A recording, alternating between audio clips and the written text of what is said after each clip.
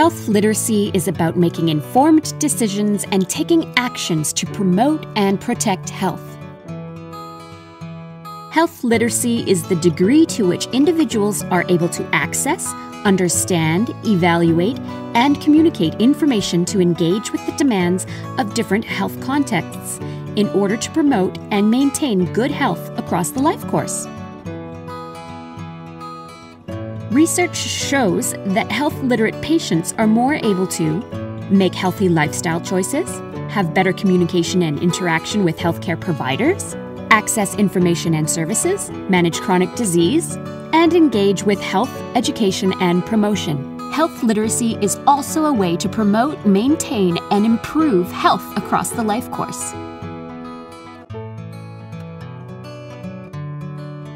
And health literate partners consider the role of health literacy in helping patients access, understand, evaluate, and communicate information, resulting in increased effectiveness in treating patients, better patient relationships and communication, and increased efficiency of the entire healthcare system, both public and private.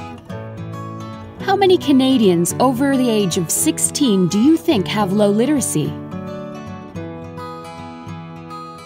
And what percentage of Canadian seniors have low health literacy? This means that the majority of your patients and clients leave your appointments without understanding what they've been told. Health literacy is a costly problem that will grow as the population ages and chronic diseases increase. Dan is among the 60% of Canadians who do not have the health literacy skills needed to adequately manage their health and healthcare needs. He is 24 years old and his asthma has flared up again. He is back in for a visit to get help. It's important for Dan to get the information and care that he needs in a way that he can understand and use. Health visits can be stressful. Anxiousness over a diagnosis, cultural barriers, or hesitation to ask questions due to the authority figure of the doctor or a healthcare provider all affects health literacy health literacy has many faces. Everyone can benefit from health literacy, regardless of age, gender, ethnicity, or income.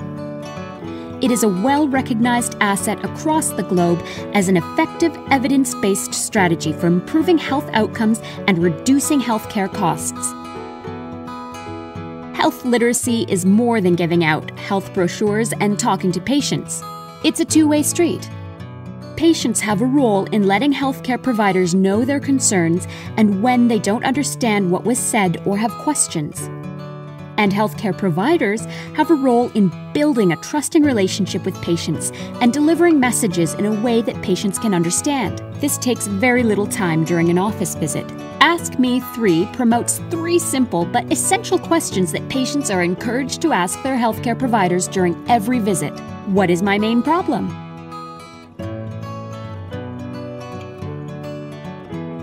What do I need to do? Why is it important for me to do this?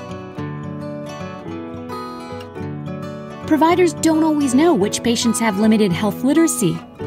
Health literacy strategies should be used with all patients. Seven practical actions include look for clues. Common behavioral signs of low health literacy include missed appointments, not writing down instructions, not taking medications, and incomplete forms. Verbal cues include comments such as, I forgot my glasses, can you read this to me? Or, I got confused about my medication. Use audio visuals, models, and pictures instead of written words. These are more effective for patients to understand their health condition. Use demonstration. Highlight or circle any take home points.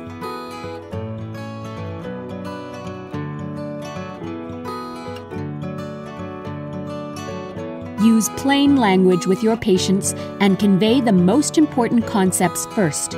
Speak slowly and avoid acronyms and jargon.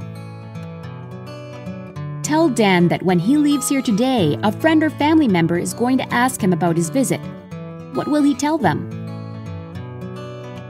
The best patient provider relationships are partnerships. Encourage patients to self manage and actively participate in their care. Self care can include encouraging family support, connecting patients with website resources, health education, and other community based resources. These strategies help promote health literacy and ensure that patients are informed and proactive with their health care.